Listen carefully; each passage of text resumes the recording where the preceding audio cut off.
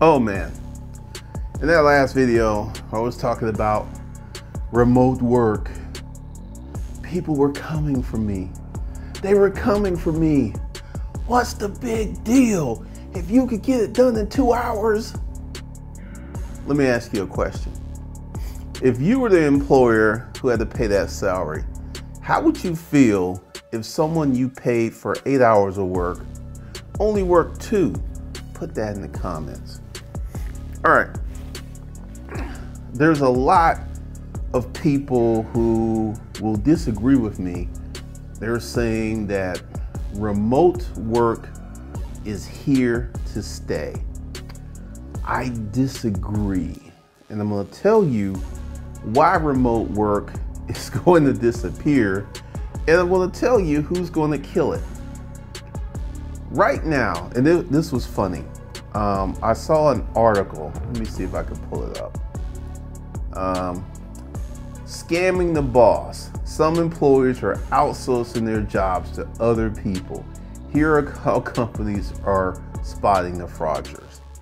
This is something that has happened. There are many people who've done this who would literally have a certain type of job and they would go to Upwork and they would outsource their work to someone in one of these third um, third world countries who would do the work.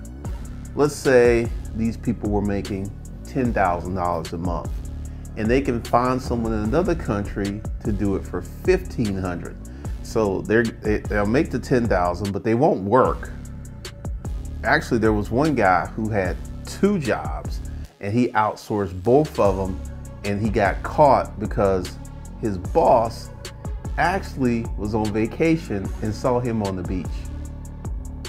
So, this is what people are doing. And it's just a matter of time. What's going to happen? The same thing that happened to manufacturing, which were blue collar jobs, where they just like, hey, we can take this job to Korea, we could take this job to Vietnam, we could take this job to Taiwan, and we can, instead of paying an American 15, 20 bucks an hour, we can pay this uh, Vietnamese a buck a day. All right, so this is what's gonna happen. Right now, you're gonna have a bunch of folks who are going to outsource their job. They're gonna have someone else doing their job. And what these corporations are going to soon realize is they outsource this job and the person in this other country did a really good job. Hmm. So what you're going to have in the next 10 years is a bunch of white collar jobs go offshore instead of hiring an American from jump because once again, here's the thing with corporate America. Corporate America is very, very malleable. Corporate America is like, hey, what makes the most sense? What makes the most money? That's what we're gonna do. Corporate America has no allegiance to any particular way of making money. If they can go out and get the job done, get the product or service sold to the end user, the customer, what is the cheapest, most efficient way to do that? That's what corporate America is going to do. So all of these people who fail, they're so smart. Yeah, I outsource. So just remember that. Now I'm getting ready to do something. I'm getting ready to start a professional trading company to do day trading, to do options trading, and everyone who signs up for the intellectual property school, that signs up for um, the program, anything right now, you're going to get this training for free. I have a feeling that this could be a very expensive course in the future. Uh, it's going to take me some time because I got to get set up. Because right now, due to the guidelines by the Internal Revenue Service, I don't have enough time because there's only four months left in the year for me to get this set up. I don't have enough time to satisfy the requirements because I'm starting a new, well, I already have the trading company set up. I actually created that trading company in 2020, but now I'm activating it And one of the things that I've done this week is I signed up for two brokerage accounts. I'm gonna tell you, if you want to set up a professional trading company in the name of an LLC, you cannot sign up for these brokerage accounts online. You can't do it. You gotta go online, print up a form, fill it out, and mail it in with a check. So once again, everyone who gets into the intellectual property school, everyone that gets into the program, you're going to get this training for free. And I'm probably going to start with some of the training because it's a lot. And I'm going to teach you how to set up a professional trading company. And once again, just, just my thoughts. For some reason, today when I was filling out the paperwork for the Schwab account, some just says, you're going to be really good at this. Just a feeling that I have. And I'm going to teach you all of the stuff that I know as I build this and set it up. So what you want to do is sign up for the intellectual property school. What you want to do is sign up for the program, whatever thing that you can sign up for. Once again, this will be only for courses at B School for Hustlers. This will not be for anything at Hustlers Kung Fu. And this will not include the masculine frame. This will only include the business courses. So just to be sure about that, just to you know let you guys know where I'm going. So go below, first comment below, sign up today for the intellectual property school, the program or something because uh, next year I'm going to be doing a lot of training on trading. Because one of, the, one of the things is I'm not going to learn how to trade from someone on YouTube. I'm actually going to find a company that does this professionally and pay them to teach me. That's what I'm going to do. So that's the kind of training you're going to get. So once again, go below, sign up for the intellectual property school, sign up for the program, and once again, the trading starts January of 2023 because like I said, I don't have enough time to satisfy the requirements because one of the requirements is to do 720 trades, really 750. I don't, I mean, I would literally have to do 200 trades a month between now and December, and I still would not satisfy the requirement of trading 75% of the time that the market is open there's no way that I can satisfy that requirement. So that's why I'm going to start in January and I'm going to get all my equipment and stuff in January because when I create a professional trading company, like when I hire these people to teach me how to trade, guess what? That's a tax deduction. So I can go out and spend a lot of money getting my computer set up and all this other stuff, and it's 100% tax deductible because I'm creating a professional trading company. Links are below. First comment or in the description. Go ahead and get in that. Where's my job and I'm getting paid and I'm not working? Just a matter of time. Just a matter of time before remote work disappears in America because what's happening? These people in these other countries, they're getting better educated.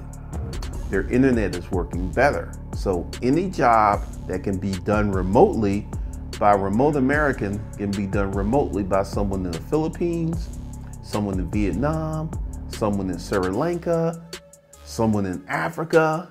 Once again, these third world countries are starting to emerge. The universities are getting better and they're training these people. So it's just, I give it 10 years. And the same thing that happened to manufacturing is going to happen to a lot of white collar jobs. India right now, Google has a campus in India. You think this this is just the beginning. Google Google's India campus. Once again, if you've noticed, there's a lot of Indians in IT. Tons and tons of Indians in IT, right? Once again, be sure to Google the Google campus in India. Google is already working on this. Already. So what's going to happen is it's going to be really hard for you to find a certain job in America in the next 10 years because they're going to be outsourced. And like all of these folks who are clowning and playing around, and like the girl I know, um, she works, she gets up, she has her day. She has her day wrapped around how she wants to do her day, which you know, understandable, but I guarantee you she doesn't work eight hours a day. And that's one of the things that's going to keep popping up, to keep popping up because, once again, these people are training corporate America. So, as those as these goes, because this, this is funny how certain things get started. Like, you know, this is completely different, but it's just to show you how something can start in one place and it can spread to other places. Do you know swinging was started in the Air Force during World War II? Yes, swinging. That's where it got started in the Air Force. Air Force officers used to make deals and agreements with their fellow airmen for their wives. That's how wife swap. And this is something that started in the Air Force. Now, it started because every time someone in the Air Force flew a plane in a mission, there was a good chance they weren't coming back. So it was kind of rooted in practicality. So this guy would go up in the plane and he may not come back, but he knew his wife would be taken care of. Now, it completely jumped past that to whatever.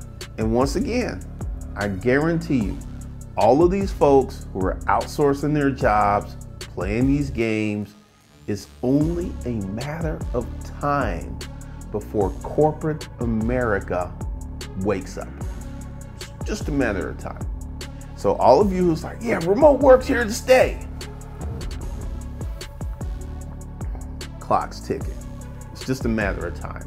Because any job that can be farmed out to a third world country and be done adequate, what let's just say, let's say if they can farm it out and the person in the third world does a job is 70% as good as an American, that job's gone. They will deal with it. 70%? Mm. Mm-mm-mm. So this is what's going to happen to the future of remote work in America. And also, here's the thing. Remote workers only make up 10% of the workforce currently. And there's uh, 10% are fully remote and 35% have a hybrid where they go in the office and they get to work a few days from home and I'm really studying, they don't feel that that's going to change. Because here's the thing can you do Uber as a remote job? Nope. Can you do customer service and Target in the checkout line as a remote job? So there, there's a lot of jobs that will never, ever, ever be remote.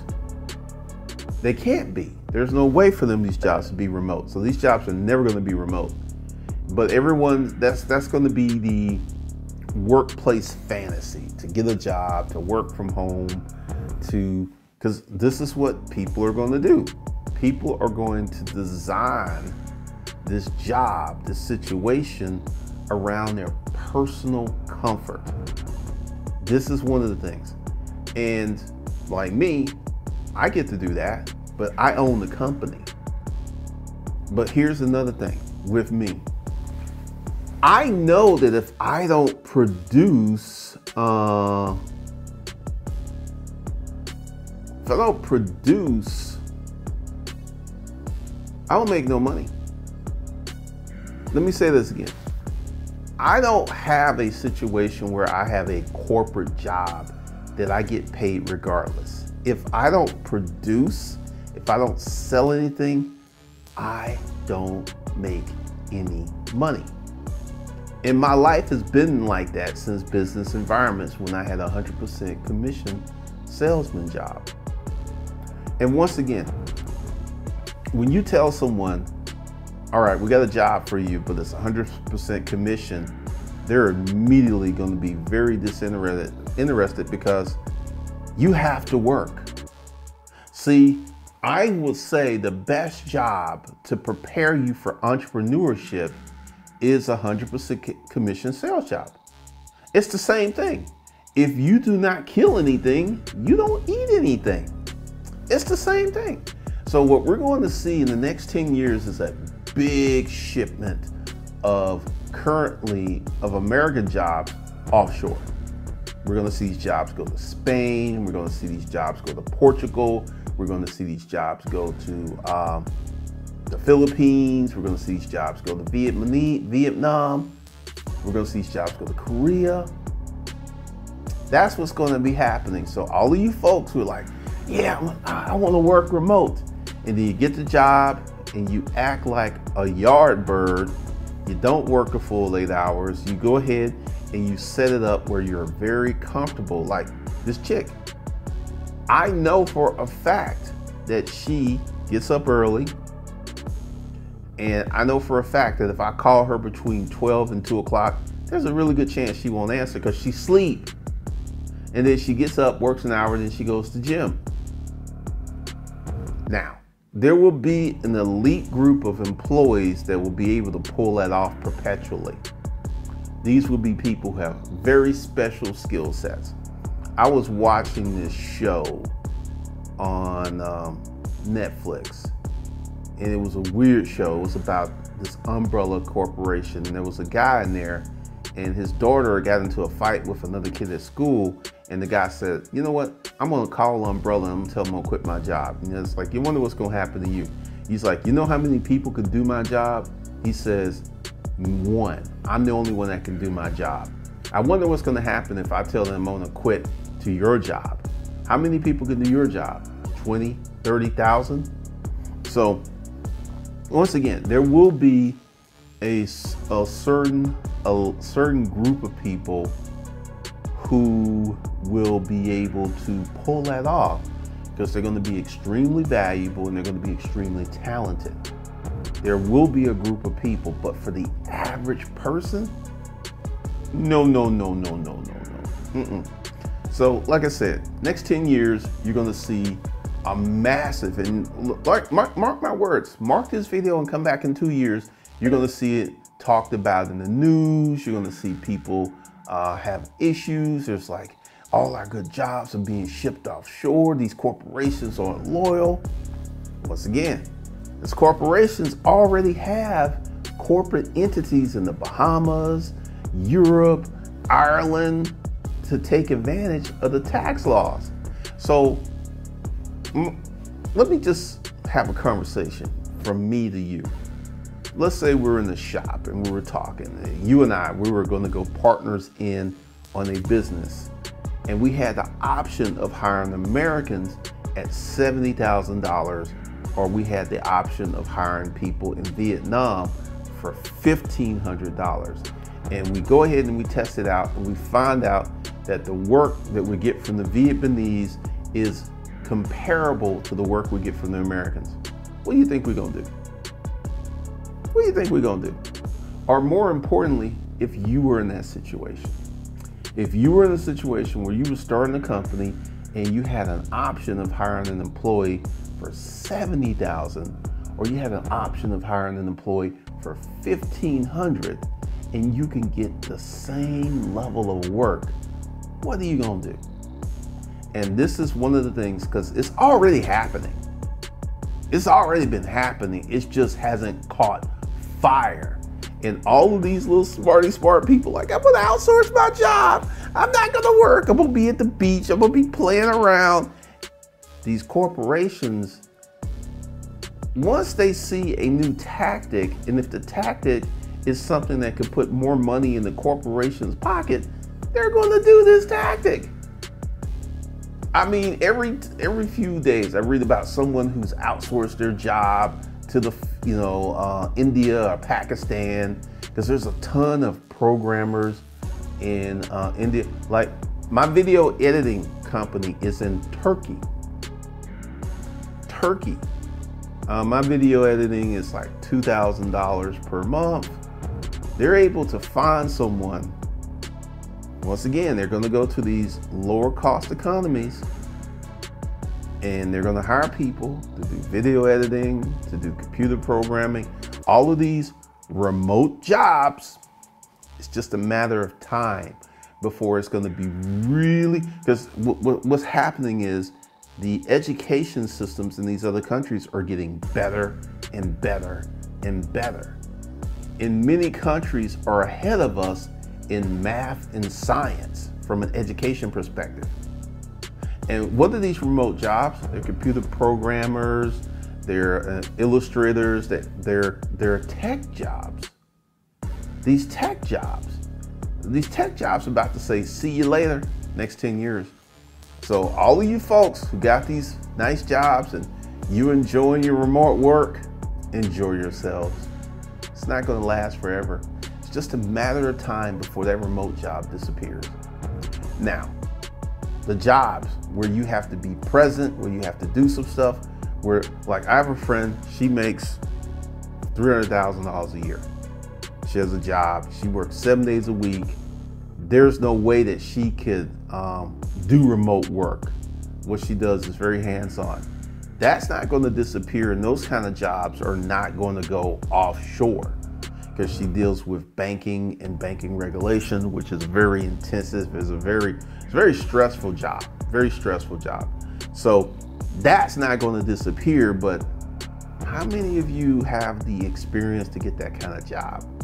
See, there's only like 10% of the country that makes six figures, right? And six figures, 100K. We move it to 250, we get to like 5% of the country at 250. We go to 500,000, we go to 2%.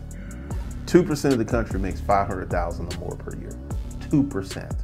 So once again, there's not a lot of room up there at those 200, 300, 400. There, there, there's, there's jobs. There's jobs available, but there's not a lot of people who are qualified for these jobs. So once again, if you're doing low level remote work, it's just a matter of time before that job is shoot, shipped offshore. It's just a matter of time. And like you folks in the comments, you're so adorable. Remote work's never gonna disappear. I'm like, oh really? It is. Just wait. If so, if you're doing low level remote work, you might have five or seven years before that job's gone. Five or seven years. Because Pepe, you over here complaining because you got to work 40 hours a week, you got to drive to the office. Pepe, Pepe, Pepe get 1500 in the country where if you make 300 bucks a month, you balling? 1500? Pepe gonna have a cook, a maid, private chef, a tutor for his kids at that 1500. Pepe, I was watching this video that this guy was like 1500 a month you can ball in the Philippines. 1500 a month. So you go ahead and you give these people in these low cost economies a serious raise, they're not going to be just happy. They're going to be internally grateful. Internally grateful. They're not going to complain. They're not going to sit. They're not going to strike. They're going to be like, give me this money. They're going to be very, very happy. So that's what's going to happen to remote work in America in the next 10 years. So, like I said, enjoy it while it lasts because it's not going to be forever and ever. Just like manufacturing disappeared in America, you're going to see remote work disappear. And like, unless you're in the tech industry where you own the company, yeah, you own the company, you might keep some jobs here. But once again, like I said, I gave you that that that example. If you and your friend were at the coffee shop talking about your job, and you can get the same this job done here in America for 70,000 or you can get it done in Vietnam for 1500 per month and get the same quality level quality of work what you gonna do put that in the comments what you gonna do so yeah all of you folks who like who are thinking like employees like how can I get the most for the least keep thinking like that keep thinking like that it's just a matter of time. Right now, there is a woman in California who used to have a really good life. and I'm about to go somewhere with this. She was married and she had a good job and she had a house. And this woman, she's on YouTube and she was talking about, she says, I should have been a better wife. You know, she said there was times my husband wanted to have sex. I didn't want to have sex. So he got rid of her. Then he got rid of her. And then, you know, she said, I didn't do the best job I could at my job. And the job got rid of her. Now she's living in a van. And this happened in the last five minutes, five years to this woman. She went from being married to living in a house to now she's living in a van in five years because she did not want to do what that man, her ex-husband, wanted her to do, and she did not want to do what her employer wanted her to do. And look at where she. And a lot, like I'm not either. I don't want. I don't want you to be living in a van. I don't want you to be homeless. I get no joy out of someone tumbling down the ranks of society. I, I get no joy. What I'm trying to illustrate, what I'm trying to tell you is this is happening right now. And you can keep playing around, you can keep messing around, you can keep thinking that you're irreplaceable. In five years, this could be your life. Keep messing around. Just keep messing around. Just keep messing around. I'm, I'm here to tell you, like I said, I take no joy from people struggling. I take no joy from people falling off. I take no joy, none whatsoever. But once again, I am here to tell you, to give you an educated perspective of what's coming. This is not maybe this is going to happen. Because, see, right now it's already happening. It's just going to pick up speed. It's just going to be more pervasive. It's going to be more pronounced. And you're going to start, in five years, you're to know someone that lost their job because their job disappeared. You think automation, and automation, that's another thing that's to kill jobs. Automation. So while you're out here trying to secure the bag, because, like, you know, that's why I use that thumbnail, because that's what people feel that they're so smart. And all of these folks who are like going out and finding, going to Upwork and finding people who can do their jobs much cheaper, they're pricing themselves out of the market. That's what they're doing. They're pricing themselves out of the market. And it's just a matter of time. So if you've got a nice, cushy, six figure job, you need to save as much money as you can while you getting it. Because I'm, I'm here to say it.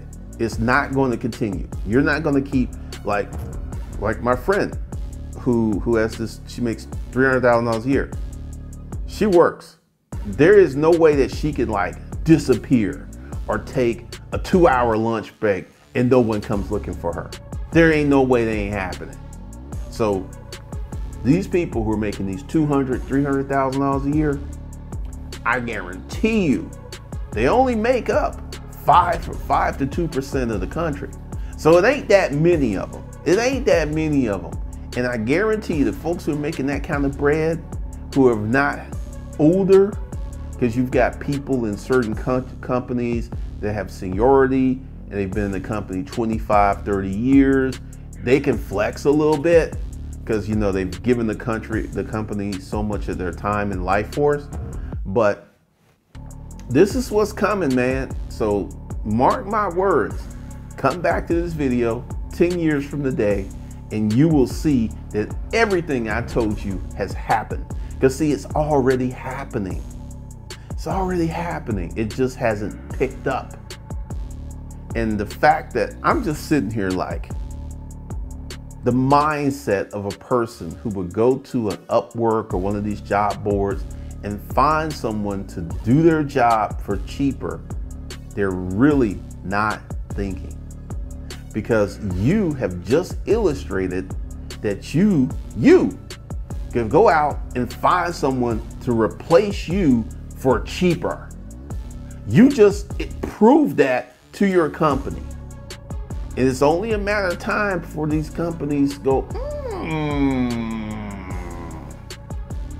hey, this this is gonna be the conversation. You know John in uh, in logistics? Yeah, John. John found someone in Sri Lanka to do his job. What? Yeah, we he got fired. But what we're we're gonna do is um, we're able to check John's uh, computer logs because see, these corporations are watching you.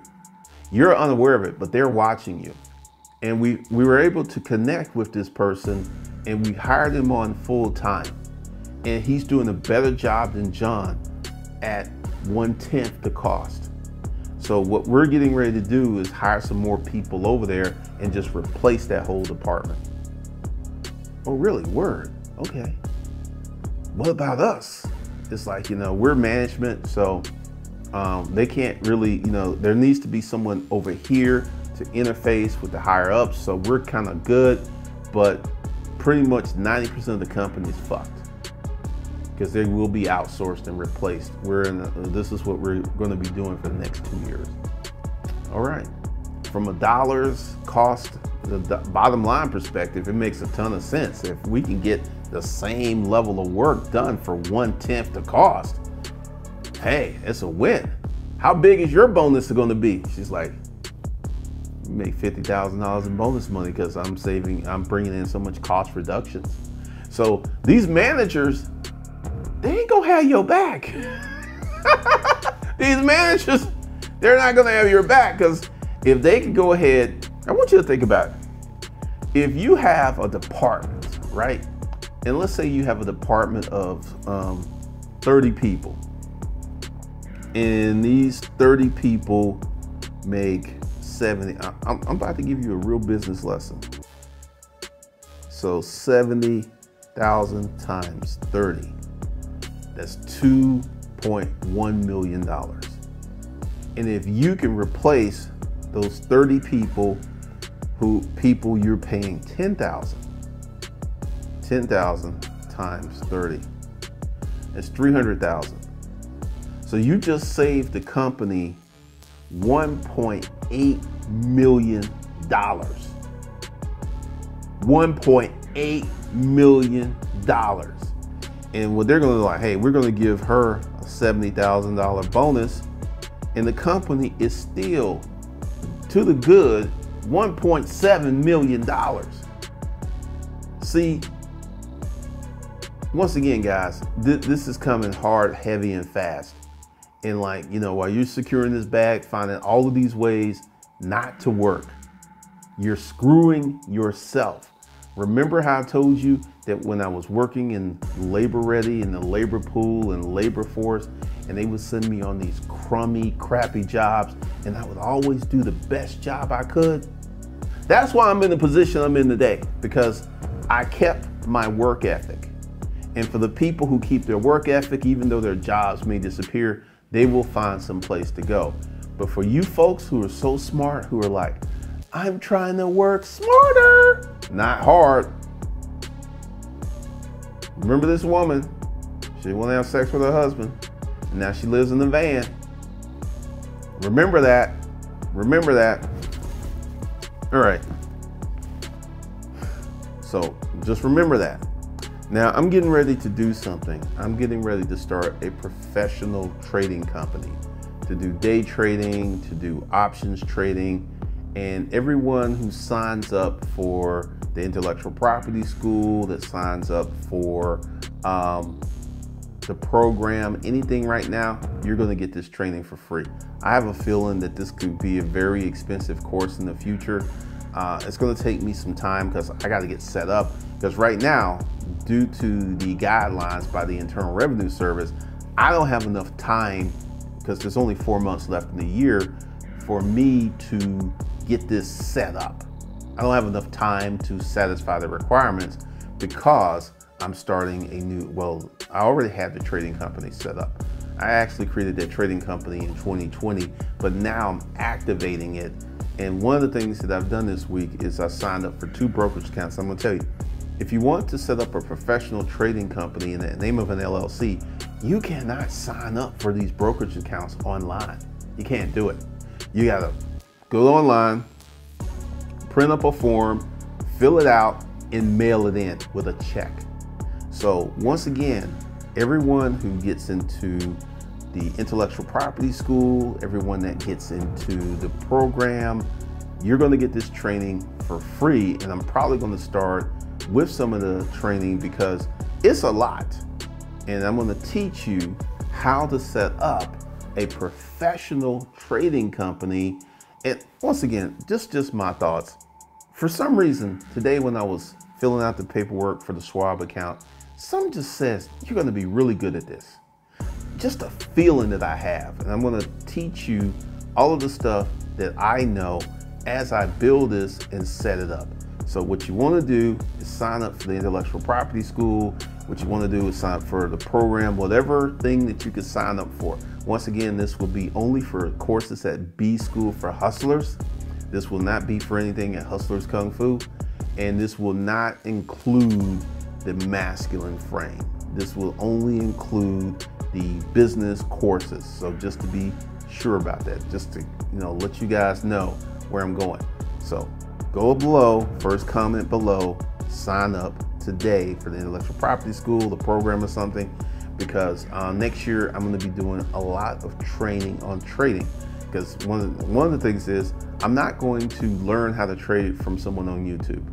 I'm actually going to find a company that does this professionally and pay them to teach me. That's what I'm gonna do. So that's the kind of training you're gonna get. So once again, go below, sign up for the intellectual property school, sign up for the program, and once again, trading starts January of 2023. Because like I said, I don't have enough time to satisfy the requirements because one of the requirements is to do 720 trades, really 750. I don't, I mean, I would literally have to do 200 trades a month between now and December, and I still would not satisfy the requirement of trading 75% of the time that the market is open. There's no way that I can satisfy that requirement. So that's why I'm going to start in January and I'm going to get all my equipment and stuff in January because when I create a professional trading company, like when I hire these people to teach me how to trade, guess what? That's a tax deduction. So I could go out and spend a lot of money getting my computer set up and all this other stuff, and it's 100% tax deductible because I'm creating a professional trading company. Links are below. First comment or in the description. Go ahead and get in that.